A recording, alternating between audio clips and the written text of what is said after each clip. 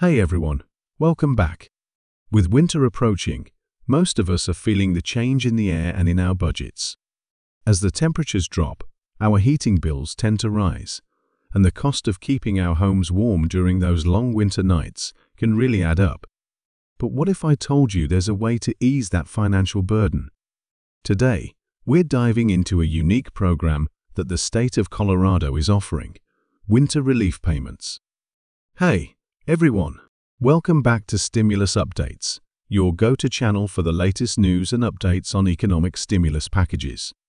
I'm your host Joseph, and today we have some exciting developments to share with you. These payments are designed to help residents cover essential costs, like utility bills and rent, as well as support local businesses by encouraging spending within our communities. Whether you're new to Colorado or have lived here for years, this is definitely something you'll want to know about, especially if the rising cost of living is hitting your wallet. So, what exactly are winter relief payments? In simple terms, these are small payments that the Colorado state government provides to low-income residents, people with disabilities, and seniors to help cover the extra expenses that winter brings. Think of it as a small economic boost that not only helps individuals but also stimulates spending within local economies. The idea here is that when residents have a bit of extra cash, they can meet their needs and put money back into local businesses, keeping our economy vibrant and resilient. Now, why is this kind of support particularly important during winter? For one, utility costs tend to skyrocket as temperatures drop. Colorado, while famous for its stunning winter landscapes and ski destinations, also faces some of the country's highest winter heating bills, especially in mountain towns like Aspen and Boulder. For many families, these extra expenses can be tough to manage, and that's where these payments come in. If you've ever spent a winter here in Colorado, you know it's unique. The climate here can be unpredictable. You might have mild days where a t-shirt is enough, and then, bam, it's snowing and freezing cold.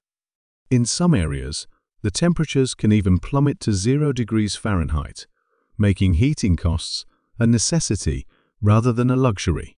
But the costs go beyond just heating. Think about it. When it's snowy and icy outside, people tend to drive less, shop online more, and even spend a little extra on winter supplies like heavy coats and snow boots. Colorado is a beautiful state, but winter comes with its own set of financial burdens that are hard to ignore. This is why the winter relief payments are so valuable. They're not just about helping people stay warm, they're about helping people thrive despite the challenges that winter brings. Now, let's get into the nitty-gritty details. Who qualifies for these payments? The Colorado government has set specific criteria to ensure that help goes to those who truly need it. Let's break down these requirements. To qualify, your annual income should be less than $18,206 if you're a single taxpayer. For married couples filing jointly, the limit is $24,345. These thresholds are intentionally set to focus support on low-income households who are most likely to struggle with the rising costs. Next, you must have lived in Colorado for the entire year of 2023 and show a commitment to staying here as your permanent residence. The state wants to make sure that these funds stay within Colorado and benefit long-term residents. If you're over 65 or have a disability, you're eligible to apply. These groups often face unique challenges with higher healthcare costs and limited incomes, so targeting them makes sense. And finally, if you don't normally file taxes, you'll need to do so this year to be eligible. This requirement is in place to help the state verify incomes and ensure that funds are allocated properly. These criteria might seem strict, but they're designed to ensure that this support reaches as many residents as possible while keeping the focus on those with the greatest need. And there's more good news. Even if you're already receiving Social Security benefits or other government assistance, you can still apply. So, if you meet the qualifications, how do you actually apply? The process is straightforward, but let's break it down, step by step. First, you'll need documents proving your Colorado residency, your previous tax returns, and any documents that verify your age or disability status. The application process is open now, and you can apply either online through the Colorado Department of Economic Relief's website or by mail if you prefer. This makes it accessible for everyone, even if you don't have internet access. Now here's a question we all have, when will you actually get the money? The state estimates that payments will be processed within 10 to 12 days after approval. So, if you apply today, you could be receiving funds within the next two weeks. Now that we've talked about the how, let's discuss the why why these funds can be a game changer for so many people. If you qualify for the maximum payment of $1,600, that can go a long way toward covering some major winter expenses. Just imagine that $1,600 could mean you don't have to choose between heating your home and buying groceries. Or it could help cover a month's rent, freeing up other funds to spend on the holidays or essentials.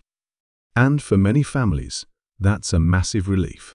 These payments provide more than just financial help, they offer peace of mind.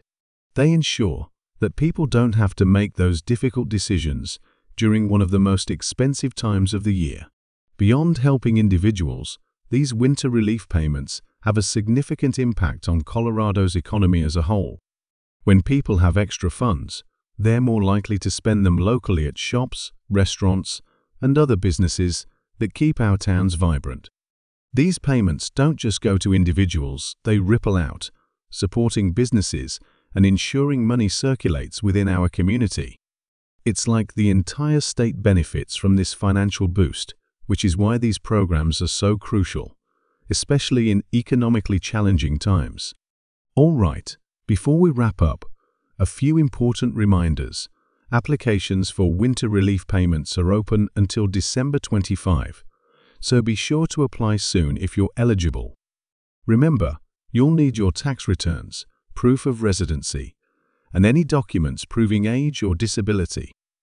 And even if you're already receiving Social Security or other assistance, this program is still available to you.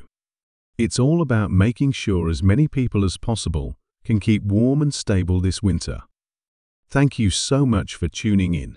If you found this video helpful, don't forget to hit that like button, subscribe for more updates, and share this video with anyone in Colorado who could benefit. Here's to a warm, safe, and financially secure winter for everyone.